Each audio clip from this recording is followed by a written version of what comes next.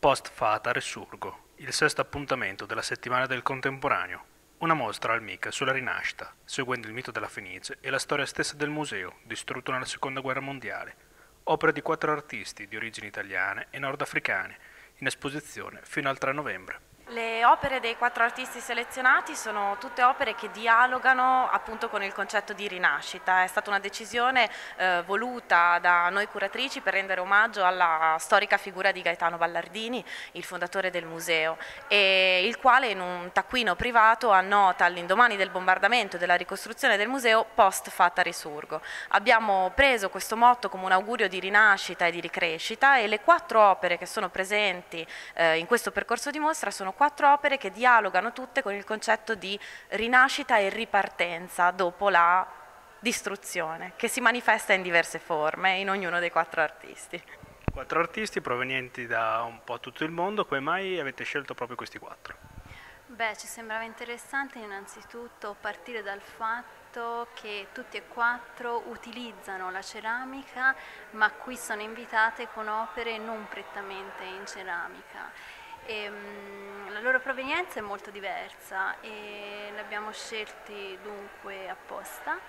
E anche la rappresentanza due donne e due uomini ci sembrava molto importante. Loredana Longo è di origine catanese, quindi italiana, invece Martina della Valle è fiorentina di origine, però abita a Berlino, Muataz Nasr è egiziano e Kader Attia è invece eh, algerino, metà algerino, metà francese le opere sono un po' sparse per tutto il museo, come mai? Esatto, beh innanzitutto volevamo valorizzare le collezioni permanenti, la collezione permanente museale e in più sono a stretto dialogo con la stessa, quindi partiamo adesso qui alle mie spalle vedete propaganda di Muataz Nasr che è a stretto dialogo pur essendo un narazzo con le ceramiche egiziane che sono sulla balaustra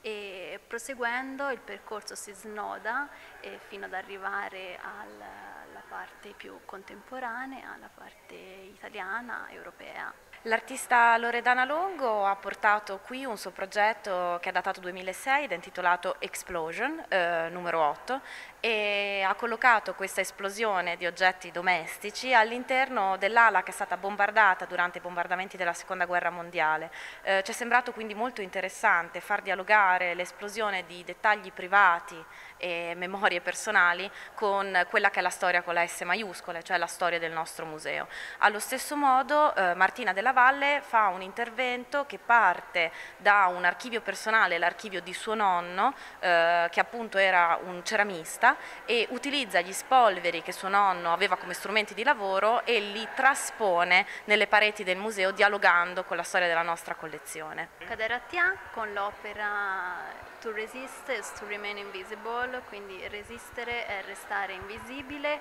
è a stretto dialogo sempre con, sia con Muataz Nasr perché comunque la scrittura è vista come atto di rinascita, che con la stessa Martina della Valle, per cui anche lui è, utilizza invece uno spolvero di gesso chiaro su muro chiaro. Federico Lega per Faenza Web TV.